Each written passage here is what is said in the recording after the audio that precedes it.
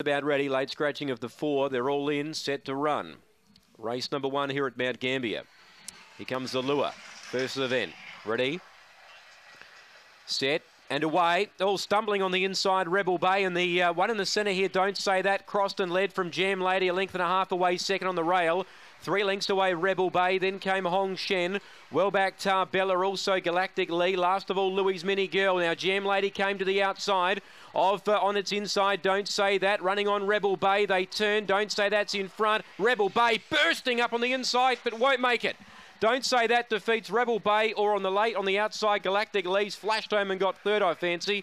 Now, force anyone's guess, Jam Lady was tiring over the concluding stages, uh, running on Hong Shen behind those from Tarbella and it was towards the rear of the field, but Louis Mini Girl, the five will hang on. Number five, Don't Say That, We'll do enough. One second, Rebel Bay, and eight third, Galactic Lee. The leader showing good speed was around $9 on the Ubet fix. The late mail followers have um, got something back here in the first with Don't Say That.